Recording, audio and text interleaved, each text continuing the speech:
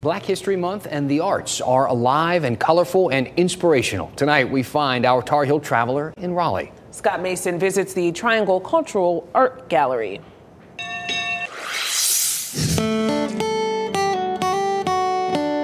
She's African American, but she's everybody's grandma. The texture in the skin, that look she has. That look, and his look, and their looks, and the look of all this art that may look different, or maybe the same. They walk in and all of a sudden they're being represented. They're seeing people that look like them on the walls. They of another race. When you're not used to that, it's kind of like a culture shock. It's the Triangle Cultural Art Gallery in Raleigh. Hopefully, when you come in, you'll see something you haven't seen before. And that can be revealing. And he took those images and silk screened them onto the surface. This is a young James Baldwin. The writer and his words. American history cannot be summed up in a paragraph. It's too complicated. The painting in itself is kind of complicated just because of all of the layers that he had to do. The multiple layers. You know,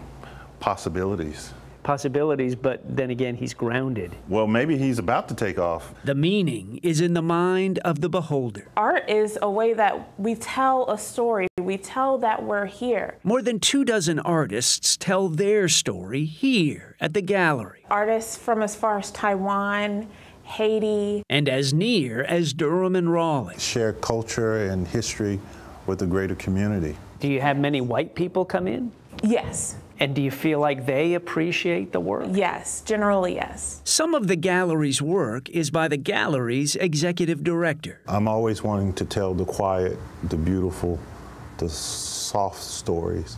And so often we don't get to see narratives with black men with a soft touch. His painting is called this life matters. Not only this life matters, but the future of America. America in all its color. His use of color is just striking. The work might be abstract or realistic. The conversation, the moment frozen in mid conversation. The work that I do, I push against the silence. You know, they're in movement, but their environment is very still. That's the thing about art is it's really history you're creating. Creating history, displaying culture. Being an African American male, there's lots of things to find wrong, but I choose to find the things that are right. The universal things that are beautiful. That beautiful constellation of culture. I know that there's a bright future in, involved. This month at the gallery is an exhibition called Keeping the Faith, featuring paintings that tell a story of Christian love, joy, and redemption. The paintings are by the gallery director, Jason Franklin.